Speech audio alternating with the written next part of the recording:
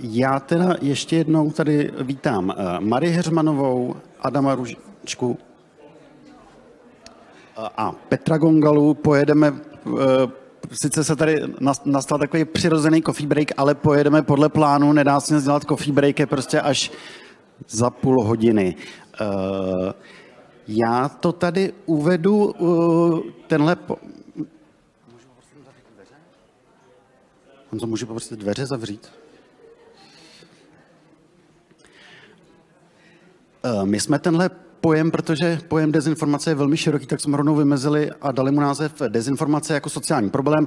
Co vás v tomhle panelu eh, čeká? Čeká vás jedna eh, prezentace od Marie Heřmanové, což bude takový úvod do toho tématu. Eh, pak nás budou zajímat reakce Adama Ružičky a Petra Gongaly na to, co Marie říkala, tedy na tohleto rámování dezinformací jako sociální problém. A pak se podíváme na to, co s dezinformacemi aktuálně dělá český stát, respektive nedělá, respektive jestli by měl něco dělat eh, nebo ne. Eh, já na začátek tady přečtu, protože jsem si říkal, že by bylo dobré, aby jsme vůbec věděli, o čem se bavíme, aby tady nedošlo k nějakým dezinformacím. Tak si dovolím přečíst definici slova dezinformace, tak jak je nyní na Wikipedii, takže podle Wikipedie, což jsme si odsouhlasili po e-mailu tady uh, s lidmi z panelu, uh, respektive odsouhlasili a došli jsme k tomu, že tom tady možná během panelu řekneme, že to právě tak úplně nesedí ta definice. Nicméně počítejme v tuto chvíli s definicí dezinformace jako nepravdivé informace, která je záměrně šířena za účelem oklamání lidí. Eh, to je dezinformace tady v tuto chvíli, v tento čas a uvidíme, jestli to tomu tak bude i za třeba půl hodiny. A Eh, já už teďka tímto předávám slovo eh, Marii. Jo, eh, prezentaci tam pustím. A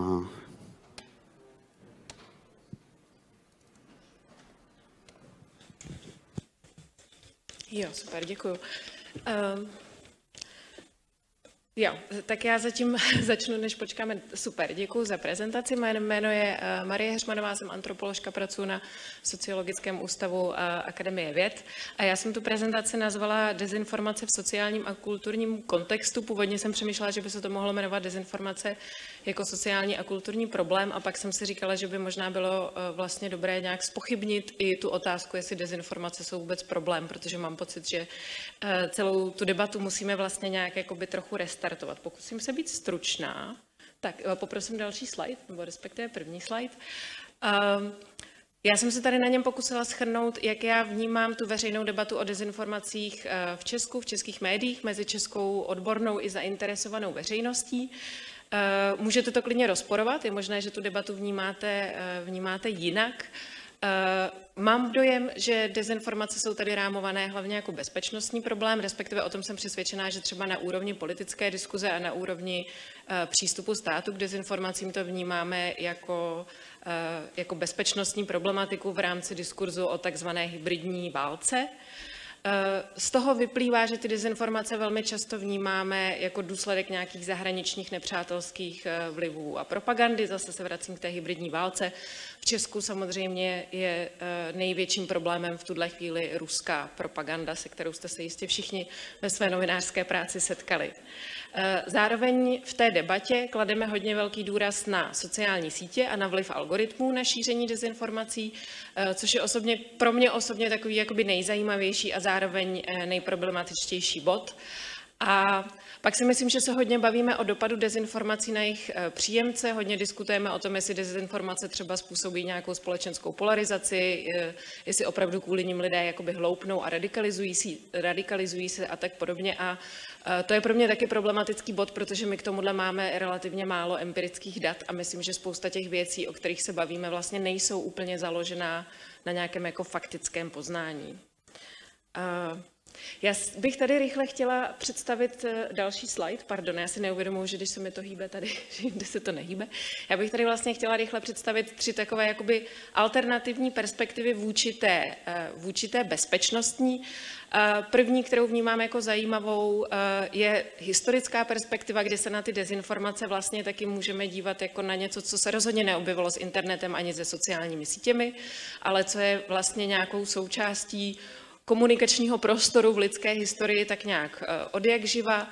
Můžu tady odkázat třeba na práci kolegů religionistů z Ústavu filozofie a religionistiky Filozofické fakulty, které se věnují tomu, jak konspirační teorie a dezinformace můžeme interpretovat třeba jako určitý typ folkloru, jako něco, co navazuje na, eh, na mýty nebo na městské, eh, městské legendy, což znamená, že se na ně vlastně můžeme dívat jako na nějaké vyprávění, které v podstatě poskytuje nějaký jakoby alternativní, neúplně reálný, řekneme, eh, výklad světa, ale zároveň poukazuje většinou na nějaký reálný problém, tak je to podobně dělají třeba právě mýty nebo pohádky.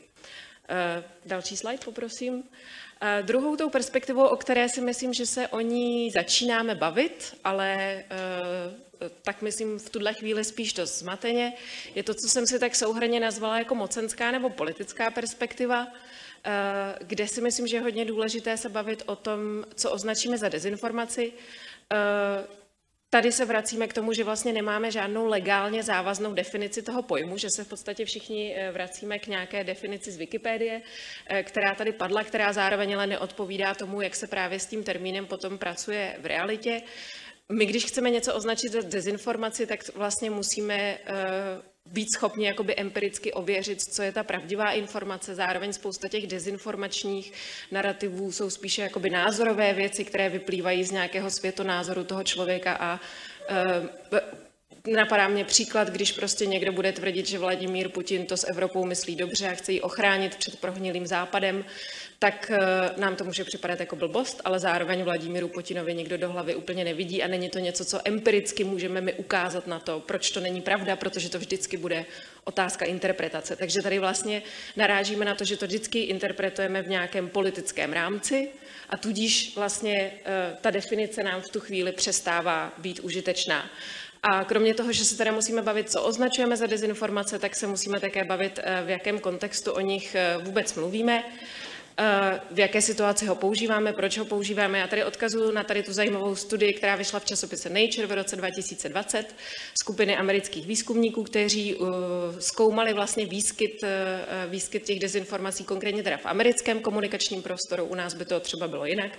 A oni poukazují na to, že třeba v tom americkém prostředí častěji se za dezinformace označuje to, co sdílí ta takzvaná far right nebo alt-right, kde, kdežto u té levice se to častěji označuje tím termínem, který oni používají jako digital activism. Zároveň eh, to mi přijde velmi důležité dodat, přestože to není v té informaci, ta samá studie zmapovala, že skutečně ta pravice používá ty empiricky ověřitelné nepravdivé informace mnohem častěji než ta levice. To je ještě, myslím, důležitý kontext, nicméně to nic nemění na tom, že je tam evidentně nějaký bias v tom, eh, jak to označujeme. Další slide, poprosím. A ta eh, poslední eh, perspektiva, kterou já jsem si nazvala jako sociokulturní perspektiva, možná by se také dala nazvat třeba antropologická, která osobně eh, mě je nejbližší, tak to je způsob přistupování k dezinformacím, kde se vlastně na ně díváme z hlediska nějaké jejich společenské, sociální funkce. Já jsem tady vypíchla dva rozměry šíření dezinformací, se kterými já se třeba setkávám ve svém vlastním výzkumu, a to je komunitní rozměr, kdy vlastně ty dezinformační, konspirační eh, komunity poskytují spoustě lidem možnost eh, přihlášení se k nějakému jasnému politickému názoru, vyjádření jasné politické identity, čím souvisí právě i ten identitotvorný rozměr, vymezení se naopak vůči třeba tomu mainstreamovému názoru. A e, teď si teda tady nebavím o tom, co je pravda, co není pravda, bavím se o tom názorovém vymezení, o tom, že pro spoustu lidí to teda má tu funkci vlastně příslušnosti k té komunitě, ve které se třeba cítí bezpečně. E, zase tady odkazuju na, na studii, e, Zase z amerického prostředí další problém toho výzkumu je, že většina toho výzkumu je, se teda zaměřuje na ten jakoby anglicky mluvící online prostor, což pro nás nemusí být vždycky úplně užitečné, to je samozřejmě další problém. Nicméně ty motivace třeba k nejenom vytváření, ale sdílení nebo jakémukoliv eh, typu jako interakce s těmi dezinformacemi jsou skutečně různorodé. Jednak je to ta politická ideologie, vydření toho politického názoru, může to být čistě pragmaticky boj o moc, o nějaký sociální status, může tam být i ten finanční zisk. Zároveň mám pocit, že tenhle faktor je docela často přeceňovaný, že těch lidí, kteří vyrábí dezinformace pro peníze, je většinou jakoby hrstka. Eh, je to rozhodně malé procento z těch lidí, kteří je potom šíří. Poprosím další slide. A já bych se teď vrátila k tomu, co jsem, co jsem jakoby říkala na začátku, jak teda tady ty perspektivy vlastně nějakým způsobem komunikují s tou bezpečnostní perspektivou, která u nás převládá. Eh, já myslím, doufám, že z toho, co jsem řekla, že nějak jakoby vyplývá, že to bezpečnostní rámování je jenom jedno z možných. Zároveň, a tohle si uvědomuju, eh, že je možná nějaká debata k diskuzi, ale myslím, že si, když se podíváme na ten, na ten informační prostor, tak narazíme i na empiricky ověřitelné eh, věci, které, když je empiricky ověříme, tak jsou blbost, ale zároveň nejsou třeba společensky nebezpečné. A otázka je, jak tu společenskou nebezpečnost můžeme vyhodnocovat a tím se zase samozřejmě vracíme k té politické ideologické rovině. Důležitá, eh, důležitý bod, který vyplývá z toho, co jsem říkala, je, že my tím, že se soustředíme na to, na to bezpečnostní rámování, a teď jenom chci říct, že já tomu samozřejmě rozumím z hlediska zase bezpečnostních složek státu, že to je důležité, že se tomu musíme věnovat, jenom si myslím, že by eh, ta veřejná debata tím neměla být ovládána do, do takové míry, do jaké je tím v tuhle chvíli z mého pohledu ovládána, zase můžete mi, to, můžete mi to rozporovat, tak to vede k tomu, že my vlastně ty dezinformace vnímáme v podstatě stoprocentně jako důsledek toho zahraničního nepřátelského vlivu. A tím pádem úplně přehlížíme to, že i kdybychom vymazali Rusko z mapy, že nevymažeme třeba tu nedůvěru, že nevymažeme ty, ty dezinformace z toho informačního prostoru. Já jsem to tady eh, nazvala otázka slepice nebo vejce, kdy eh, třeba z výzkumu, který my jsme dělali s kolegy na Akademii věd, Společnost nedůvěry, publikovaném na Českém rozhlasu, možná jste ho postřehli, tak nám vyplynulo, že hlavním, hlavním teda tím, tou proměnou, kterou můžeme vysvětlit, důvěru v dezinformace je nedůvěra ve stát. A teď je tady pro mě otázka, jestli teda se ty dezinformace šíří, protože nám klesá důvěra v ty oficiální instituce a v ty oficiální zdroje, což já vnímám jako náš domácí problém, anebo jestli se snižuje důvěra vlivem těch dezinformací, což by potom byl problém té zahraniční propagandy. Takže slepice nebo vejce. Už se doufám blížím ke konci. Další, uh, další slide. Uh, Teď se vracím k tomu bodu, že, že ty dezinformace teda často vnímáme jako problém navázaný na sociální sítě a na ten online prostor, což samozřejmě do jisté eh, míry je pravda. Nicméně já to považuji za reduktivní právě mimo jiné, protože třeba když uplatníme tu historickou perspektivu, tak zjistíme, že eh, potřeba vymýšlet si a fabulovat z různých důvodů tady byla vždycky a vždycky existovali lidé, kteří měli spoustu důvodů říkat něco, co třeba empiricky ověřitelně není pravda, protože jim to eh, sloužilo k nějakému cíli. Eh, a dále je tady ten pro mě osobně zase důležitý bod, že z toho plyne, že teda přeceňujeme různé ty mechanismy sociálních sítí typu těch filtrových bublin, echo chambers, asi, eh, asi to znáte minimálně nějak povrchně. Ale my v tuhle, a to mi přijde důležité zdůraznit, my v tuhle chvíli opravdu nemáme jednoznačné důkazy o tom, co ty algoritmy vlastně způsobují, měřit vliv tady těch, eh, tady těch eh, fenoménů na společnost je extrémně problematické, extrémně metodologicky náročné. V podstatě se to úplně jednoznačně jakoby nedá. Musíme se smířit s tím, že na tuhle otázku nikdy nebudeme mít úplně odpověď. To, co ale víme a to, co ukazují ty jednotlivé dílčí výzkumy a třeba i právě ten náš eh, český, je, že to rozhodně nelze vnímat odděleně právě od té sociokulturní perspektivy. A že to, že někdo se například přidá do nějaké dezinformační skupiny a začne ty dezinformace aktivně šířit, tak tam určitě může hrát roli to, že mu ten algoritmus nabídne třeba nějaký, nějakou tu dezinformaci, ale pokud ten člověk se nebude pohybovat v sociálním prostředí a nebude ve svém vlastním životě v situaci, kdy bude mít motivaci tomu uvěřit, tak tomu jenom kvůli tomu algoritmu neuvěří. A to myslím, že si můžeme všichni tak nějak uvědomit uh, asi i sami na sobě.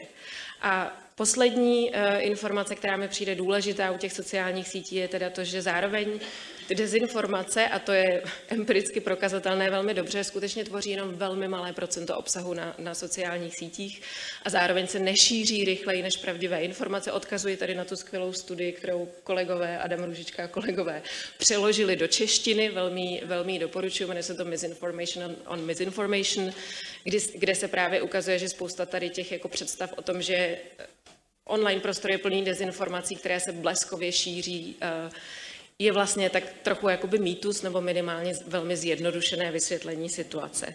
Tak a předposlední slide. Uh, tady o tom bych mohla mluvit dlouho, právě o tom dopadu dezinformací. A co to teda vlastně způsobuje v té společnosti. Eh, já tady zkusím jakoby schrnout nějaké věci, které, které reálně zase máme ověřené nějakými daty, kterých není zdaleka tolik, kolik bychom potřebovali. Ta první je, že eh, lidé přicházejí na internet s nějakými radikálními postoji. Většinou víme, že lidé, kteří třeba s tím obsahem nějakým způsobem jsou v interakci online, tak jsou to lidé, kteří to dělají i mimo ten internet. Což znamená, že to nefunguje tak, že by ti lidé přišli na ten internet a tam se zradikalizovali skrz ty dezinformace. Ve většině případů to funguje spíše tak, že oni tam přijdou s nějakými radikálními postoji a vyhledávají ty dezinformace, které jim tyhle radikální nebo anti-mainstreamové postoje potvrzují. Co z toho vyplývá, je, že ten dopad na toho jednotlivce tedy velmi významně souvisí s tou motivací, ale zkoumat ty motivace je samozřejmě mnohem složitější z hlediska metodologie, mnohem dražší, časově náročnější, než zkoumat to časové šíření. Takže z tohohle důvodu tady podle mě vzniká ten bias, kdy my vlastně se hodně zaměřujeme na to šíření a ty motivace spíš předpokládáme.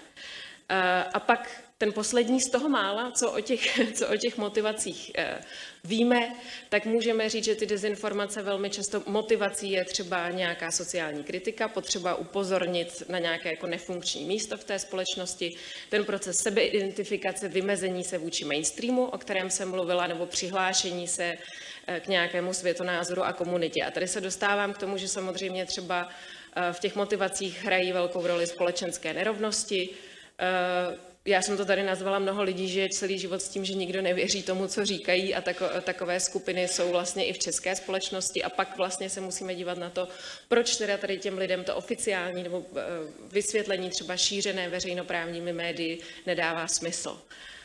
A úplně poslední slide, eh, což je vlastně jenom takové eh, schrnutí. Já nemám odpověď na otázku, co dál nebo co s tím, možná tady k ní nějak dospějeme.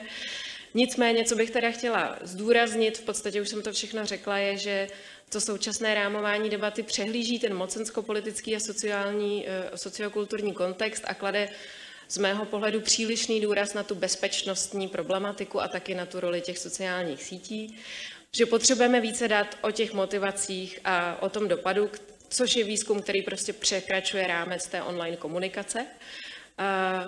A co z toho pro mě trochu vyplývá, eh, a pro mě jako pro akademičku je to samozřejmě velmi problematické, protože potřebuju nějaké termíny, které vymezují to, co zkoumám, ale že samotné ty termíny jako dezinformace a konspirace jsou vlastně v tuhle chvíli už tak jako zatížené a tak normativní, že přestávají být užitečné. Nemají tu pevně stanovenou definici, se kterou bychom mohli všichni pracovat a zároveň se všichni k ním nějak vztahujeme ideologicky. Takže vlastně začíná být pro mě velmi problematické v tom výzkumu je nějak používat, protože jako analytické pojmy vlastně přestávají fungovat. A to opravdu nevím, co s tím dál a e, způsobuje mi to e, metodologický problém, takže jestli někdo má řešení, tak za něj budu ráda. A to je za mě všechno.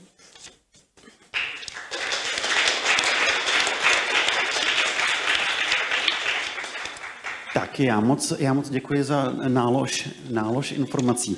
A poprosím teďka uh, Adama Růžičku, který je z Institutu H21, výzkumný institut, který, jak už Marie zmiňovala, spoustu tady překládá důležitých materiálů, ať už co se týče dezinformací nebo svobody slova, tak poprosím ho o reakci na toto. A v zápětí poprosím o reakci eh, Petra Gongalu ze serveru demagog.cz, který je tady vlastně, mi došlo v panu jako jediný takový jako praktik, protože skutečně demagog.cz dělá to, že ověřuje a rozhoduje, co je pravda, eh, co, co ne a tak nás pak bude zajímat jeho pohled. Tak nejdřív poprosím teda, pane Ružičko, vás, kdybyste mohl reagovat. Eh, dobrý den, já moc děkuji za pozvání a děkuji za tady tohle parádní rámování od paní doktorky. Možná jenom rychle bych se vyjádřil k, k té definici, kterou vy jste, vy jste předložil, to, že je to šíření nepravdivé informace se záměrem klamat. Eh, já bych si hrozně přál, aby tohle byl způsob, jakým my ten pojem vykládáme, což, což bohužel není, protože častokrát se bavíme o nějakých eh, eh, vágních narrativech, které mají, které mají pokoutný, pomalý efekt na podrývání důvěry v demokracie a tady tyto narrativy, jakési interpretace reality častokrát mají pravdivé jádro. Ostatně tady tohle se psali v tom prvním návrhu toho takzvaného antidezinformačního zákona.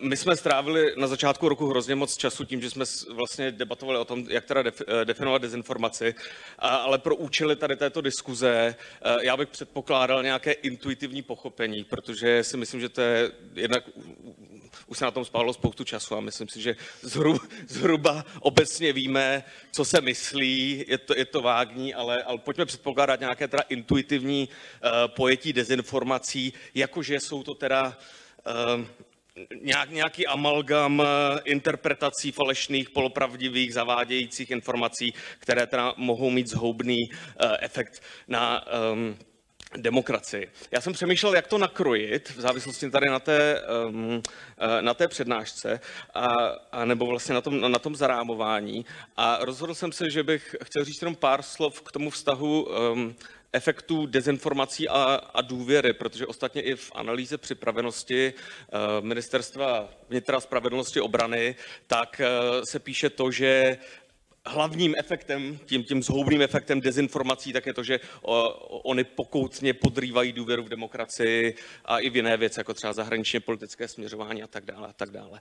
A já bych zde chtěl orodovat, samozřejmě to jako komplexní inter, interakce, to je slepice na vejce, ale uh, chtěl bych orodovat za to, abychom doopravdy brali větší ohled na ten kauzální směr od nedůvěry k dezinformacím, než naopak. A to hned z několika důvodů, které bych tady rád zmínil. Ta první věc je to, že ta časová posloupnost sedí o dost lépe. V literatuře my se bavíme o problému nedůvěry o dost déle, než o, problematice dezinformací. E, jako ilustrativní příklad můžu dát e, třeba to, že v roce 2012 vyšla knížka od politologa Ivana Krasteva, která se jmenuje V nedůvěru věříme, o tom, jak nedůvěra je korozivní pro fungování um, demokratické společnosti. Eh, slovo dezinformace nebo hybridní působení tam nepadne ani jednou, protože tehdy my jsme to prostě neřešili. Eh, když se podíváme na vývoj eh, důvěry ve sdělovací prostředky v České republice, tak ten klesající trend začíná někdy okolo roku 2005. Znovu v době, kdy vlastně dezinformace vůbec nebyly téma a mimo jiné ono naráží na ten, tu nejnižší úroveň někde okolo roku 2017, kde v podstatě v tom stejném pásmu zůstává. Jo, a vzhledem k tomu, že eh, my jsme v posledních letech toho slyšeli hodně o tom, jak dezinformační působení se zintenzivnilo v kontextu pandemie, v kontextu války na Ukrajině, tak já bych třeba očekával to, že důvěra bude dále ponížena, ale to se, to se neukazuje. Ona v podstatě zůstává od, od uh, toho roku 2017 v podstatě konstantní, s mírnými výkyvy spíše do pozitivna. Třeba v prvním kvartále roku 2020 po začátku pandemie, tak, tak eh, důvěra v, médie, eh, v média vzrostla. Takže to je, to je jenom pár takových faktoidů. Ta, ta druhá věc, eh, proč já bych opět um, spíš pos, um, apeloval tady na ten směr důvěra dezinformace, tak je to, že ze studií lidí, kteří jsou náchylní k, dezinformacím, tak my zjišťujeme to, že oni Eh, že ten problém nespočívá v tom, že oni by byli příliš eh, důvěřiví, tak jak bychom očekávali z těch konstantních apelů na to, že potřebujeme více kritického myšlení. Naopak to, co se ukazuje, je to, že oni jsou velice skeptičtí, kritičtí a nedůvěřiví, ovšem směrem k, tradičním vzdělovacím prostředkům. Takže je otázka, jestli vůbec ta strategie potřebujeme více kritického myšlení, je ta dobrá, protože to může vést k tomu, že možná lidé budou kritičtí, ovšem ne tím směrem, kterým bychom uh, my si přáli. Tady uh, kolega Altaj, který tady byl již jednou citován, tak on dokonce hovoří o tom, že lidé, kteří konzumují, rozšiřují a i vymýšlí dezinformace, protože to není pouze otázka vnějšího působení, ale je to, je to jakási domácí vnitřní tvorba, tak on je nazývá, že to jsou takzvaní epistemičtí individualisté. Jo, jejich heslem je nebuďte ovce, nevěřte všemu, co se píše, dělejte si vlastní rešerše a tak dále. To, že oni na základě vlastních rešerší často uh, dochází k milným závěrům, je druhá věc, ale uh, nemůžeme je rozhodně vinit z toho, že by byli málo uh, kritičtí. Takže ta, ta relevantní otázka pro mě, aspoň ve vztahu hrozbě dezinformacím. Já si já souhlasím s tím, že v současnosti to není takový problém, ale uh, obávám se toho, co přijde v momentě, kdy my budeme mít um, extrémně realistické nebo extrémně realistický audiovizuální syntetický obsah, kde budeme muset záviset na autoritativním posouzení a my tu důvěru reálně budeme potřebovat, protože uh, očividně dojmologicky nebudeme schopni rozpoznat, co pravda je a co není, tak uh, ta relevantní otázka je zabývat se, co tedy vedlo k tomu, že důvěra byla narušena a jakým způsobem ji vydobít zpátky. K tomu se potom můžeme vrátit, ale já už jsem mluvil dlouho, tak tím tady bych to teda zakončil. Moc děkuju. Poprosím pana Gongalu. Dobře, děkuji, děkuji za jsme si to vždycky měli zapnout, ten, kdo mluví, a ten, kdo nemluví, tak vypnout. Tady, to, to je tady náš vztah s technologií. Dobře. Eh, tak děkuji za slovo. Ehm, já teda taky děkuji za tu prezentaci. Demagog.cz ověřuje faktické informace. V zásadě my se tolik nezabýváme tím, co ta dezinformace je, ale prostě se snažíme ten obsah ověřovat. Je to takové, že eh, pro člověka s kladivem je všechno hřebík, tak my jsme to kladivo a hledáme ty hřebíky um, a to, tu otázku definiční tolik neřešíme, takže já nebudu reagovat tak dlouho. Já vám můžu říct, že my se snažíme používat tu definici dezinformací tak, jak zaznělo na začátku, eh, v naší komunikaci protože se hrozně bojíme toho obvinovat lidi, kteří v dobré víře sdílí obsah eh, na, na sítích, eh, který je nepravdivý, ale prostě kterému věří, ehm, z toho, že jsou dezinformátoři. V tomhle nás třeba hrozně trápí, že komunikace Mety a dalších sociálních sítí ve směs používá to slovo dezinformace právě pro obecně nepravdivý obsah. Jo? Když eh, vy jste někdy zkusili nazdílet nějakou už ověřenou informaci, tak Meta vám dá notifikaci, že um, teda jste sdíleli dezinformace a, a varování o tom, co to tomu uživateli může přinést. To je ten agresivní, polarizující přístup vůči těm lidem, který právě potvrzuje tu jejich představu, že ta, ta, jako ta, ta mainstreamová média, včetně teda Demagog.cz, ale úplně velký médium nejsme, tak uh, že vlastně obvinují, že jsou tak jako jejich uh, ideologičtí oponenti. Jo. Takže tomu se snažíme vyhýbat a prostě používat dezinfo jenom, ten, ten termín dezinformace jenom pro věci, které zjevně jsou tím um, vědomým šířením nepravdivého obsahu. Ten příklad by byl, když šéf-redaktor Sputniku v době těsně po začátku druhého kola um, voleb nebo po, v kampani pro druhé kolo prezidentských voleb začal masivně šířit video na různých kanálech a s pomocí dalších um, ruských botů, um, ve které, které byl sestříhaný video Petra Pavla, kde vysloveně říkal, po té sestříhané verzi, že jediný způsob, jak můžeme pomoct Ukrajině, je přímé vojenské zapojení. Tak to je, tady není pochyb o tom, že ten člověk to dělá, podle mě teda není pochyb o tom, že ten člověk to dělá ve, ve špatné víře a plně si vědom toho, že ta informace je nepravdivá. Samozřejmě naprostá většina lidí, která to sdílela, um, nemusela mít tenhle ten zlý úmysl.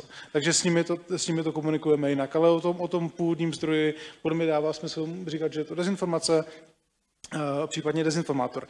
Ehm, to, co my teda vnímáme u těch, u těch, u těch lidí, kteří to, kteří to sdílí, je, že um, oni se cítí jak, jak jste dobře popsali, jsou, cítí se sami marginalizování, cítí se, že um, ta, ta mainstreamová média stojí proti nim. Um, ten náš kontakt s nimi je často přímý. Jo? Oni nám volají, mě volají a ptají se, proč jsme jim ověřili tu a tu danou věc. A ta, ta naše strategie je ten um, allyship. Jo? My se snažíme vysvětlit, že jasně, oni mají úplně legitimní nedůvěru vůči mainstreamovým informacím, ale zároveň by měli mít nedůvěru vůči těmhle těm nemainstreamovým informacím. My ukazujeme jim, kde přesně se ti lidi snaží podvést, kde přesně prostě jsou, využívají nějaké manipulativní metody nebo prostě um, používají ty moderní techniky uh, digitálního lhaní, to jsou ty sestříhaná videa, deepfakey, um, umělé audio, audio záznamy a podobně.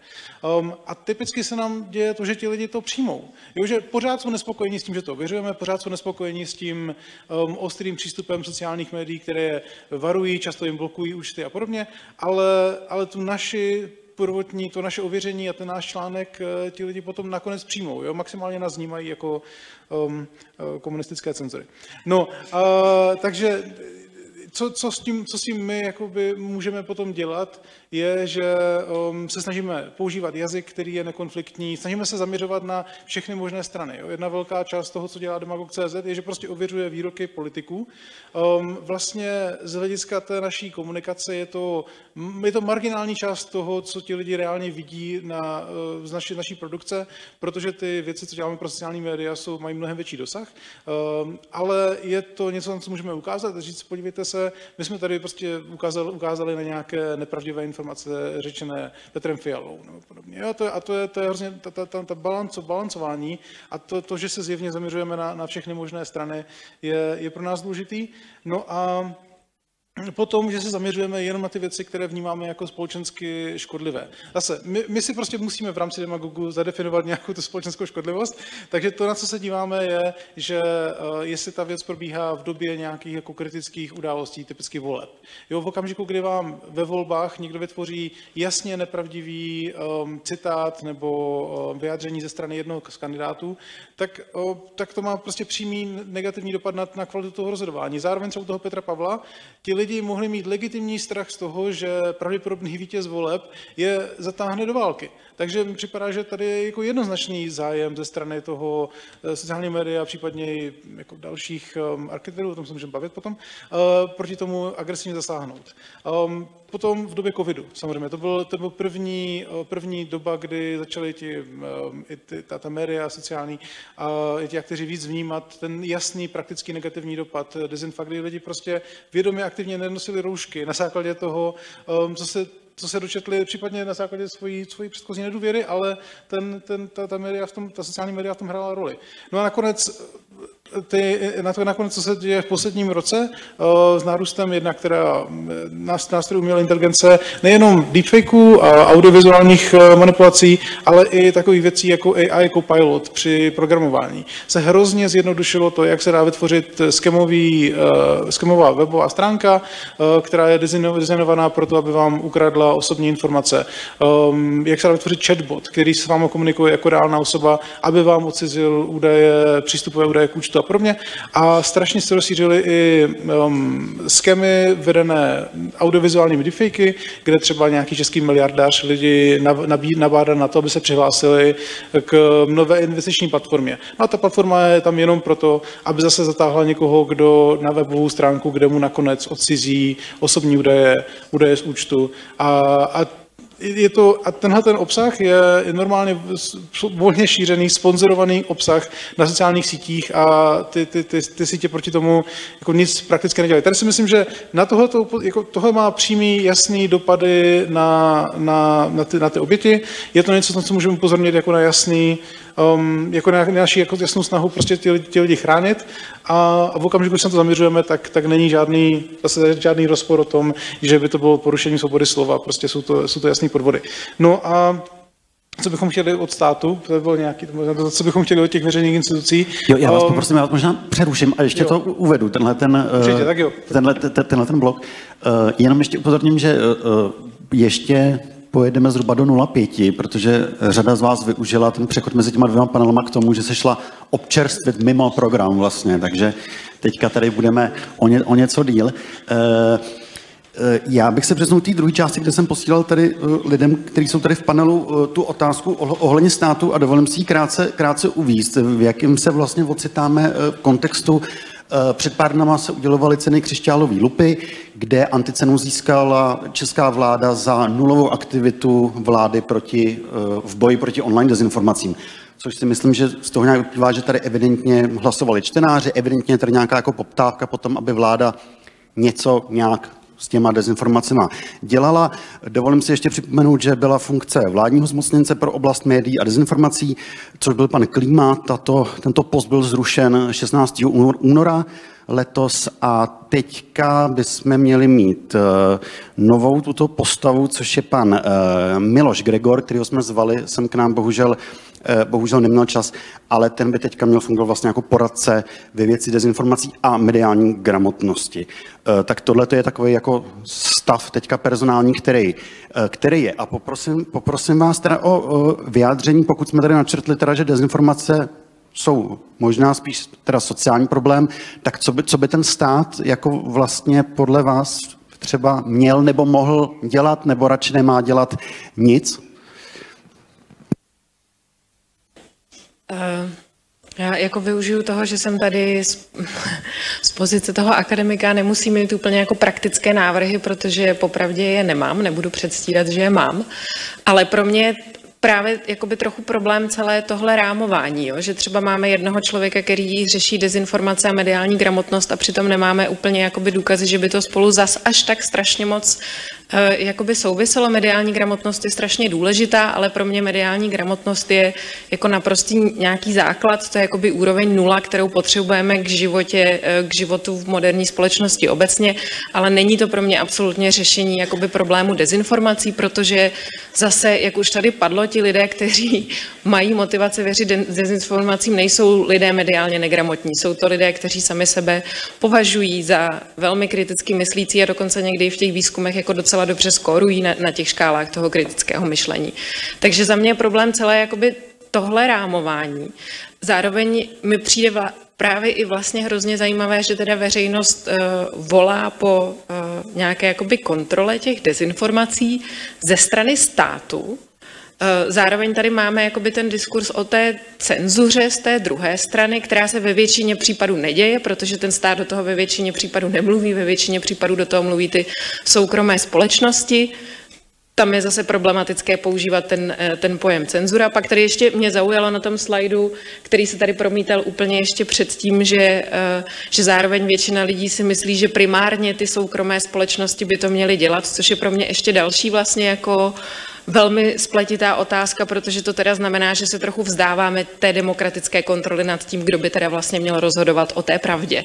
Takže eh, z tohohle pro mě jakoby vyplývá, že dokud si nezodpovíme všechny tady ty otázky, tak já se trochu bojím všeho, co ten, co ten stát vymyslí a jsem, jsem ten člověk s tou, domnívám se, zdravou nedůvěrou eh, v ty zákroky. Takže já si především myslím, že co by ten stát měl dělat, je uh, zjišťovat informace, Eh, spolupracovat s akademickou sférou, spolupracovat s experty, to musím říct, jinak bych eh, si tady podřezávala větev, nebo jak se to říká, ale jakoby myslím si, že, že nám vlastně jakoby chybí ten posun té debaty do nějaké té faktické úrovně toho, o čem se vůbec můžeme bavit, co je možné, co dává smysl.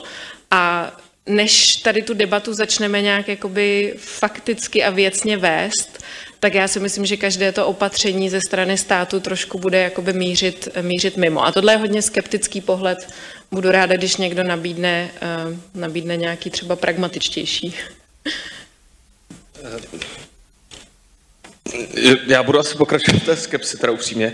Um, já se nedivím, že oni, dostali tu, tu anticenu vzhledem k tomu, že tady je ohromný kontrast um, mezi tím, jak moc bylo apelováno na boj s dezinformacemi na začátku minulého roku. Ta retorika byla ohromně tvrdá. Vzpomeňme si, minister Rakušan říkal, že tak, jak padají válečné střely na Ukrajinu, tak padají dezinformační střely na Česko. Jo, to je, to je opravdu paralela uh, extrémně, extrémně silná. Pak se v podstatě dost dlouho nic nedělo. Uh, měli jsme pana zmocněnce, ten, uh, ten prezentoval ten akční plán, kterými jsme docela dost jako analyzovali, jež byl poměrně jako žalostný, takže to se jako zahodilo a teďka se vlastně jako děje, se tak trošku jako dělá, že eh, se nic moc dělat nebude. A já chápu, proč část veřejnosti, která byla přesvědčena o tom, že dezinformace jsou hrozbou, proč vlastně teďka postrádají nějaký koncepční návrh řešení. Um, Mimochodem, není to úplně tak, že by stát nic nedělal. Teď ku příkladu jsme měli aktivitu ministerstva vnitra, který, který měl tu kampaň za několik desítek milionů, to, to bylo to nenaletět, ale pakliže dezinformace jsou eh, přímo teda spojené s tím problémem nedůvěry, tak Tady tohle se bude velice těžce, těžce dělat ze strany vlády, která v současnosti má rekordně nízkou důvěru. Jo, jenom pro porovnání, současná vláda má uh, důvěru na úrovni uh, Miloše Zemana na konci mandátu nebo Václava Klauze po amnestii. Jo, to, je, to, to je opravdu jako rekordní minimum, takže si myslím, že snaha jako přesvědčit veřejnost uh, ze strany státu, že, že oni teda jsou ti, kteří budou prezentovat to, co je spolehlivé a pravdivé a krásné, tak si myslím, že je Vláhová.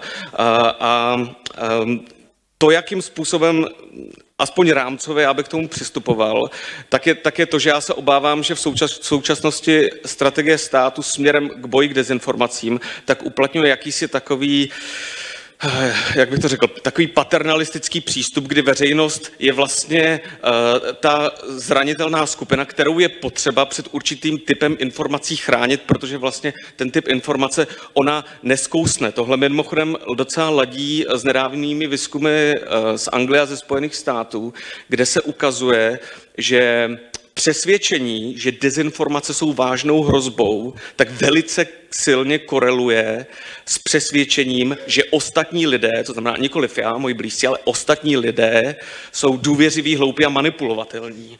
Jo, a, a to, co třeba my se eh, dočteme, když, když se podíváte na dokumenty toho týmu, ty neslavné dokumenty týmu KRIT ministerstva vnitra, tak tam je explicitně napsáno, že veřejnost musí být chráněna i před některými pravdivými informacemi, protože my se bojíme její nenávistné, netolerantní, nesolidární uh, reakce. A v době internetu, kdy dneska se reálně nic moc dlouho neutají, tak pak, když se zjistí, že stát se snaží utajovat něco, co je pravda, tak eh, tohle si myslím, že jako docela pěkně vysvětluje, proč zde můžeme mít problém nedůvěry. Jo?